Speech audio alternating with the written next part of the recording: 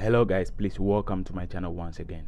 In today's video i am going to show you how to recover your facebook password. If you forgot your facebook password and you cannot be able to log into your account in this video i am going to be showing you three basic methods that you can follow to recover or log into your facebook account. If today happens to be the first time on this particular channel please kindly subscribe for more lessons like this in the coming days as we dive into this very quickly all right so once you've come onto this particular point where you cannot be able to remember your password to your facebook account what you need to do is to go back onto your browser. If you are using an android you can use any browser. Those with the iphone the safari is good for this. And go on to myaccount.google.com myaccount.google.com and right here you need to be sure that you log into your primary google account. Your primary google account. So once you've been onto your account please go onto security. Security right here. So once you've come here what you need to do is to scroll down until you've seen password manager again you need to scroll down onto facebook.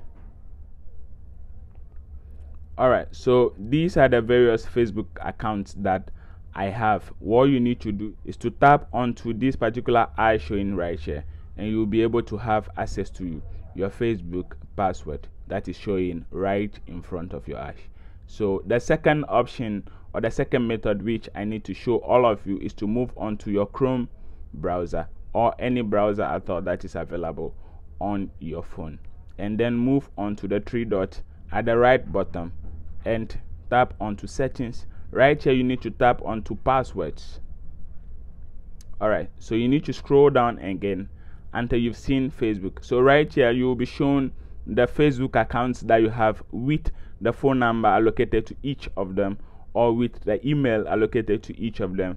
The one that you need to recover or the one that you need to see the password to you need to tap on it and that is going to reveal the password to you. If none of these methods can be able to help you please follow this particular method that i'm about to show to you last which can be able to help you. So what you need to do once you've come here please do not write in any phone number or email address because once you are doing that and cannot be able to write that correctly your account will be lost and it will be very difficult for facebook to guess the particular account that you are trying to recover. So move straight on to forget password. And right here you need to input your phone number or your email address that is associated with that particular facebook account. So i am going to write in my phone number right now. Once you are done with writing the phone number please tap done. All right your account will be shown to you uh, multiple accounts will be shown to you if you use that particular number to create multiple accounts. And please tap on the particular one that you need to recover the password of or log into. And with that you are going to be asked where a code will be sent to you for the recovery to take place. If the phone number is actually not situated with this particular account you can use your email address for the recovery of your password. And with that you can be able to do that in getting back to your facebook account. Please if this video however happens to help you out there kindly subscribe to my channel for more lessons like this in the coming days. And please have a great day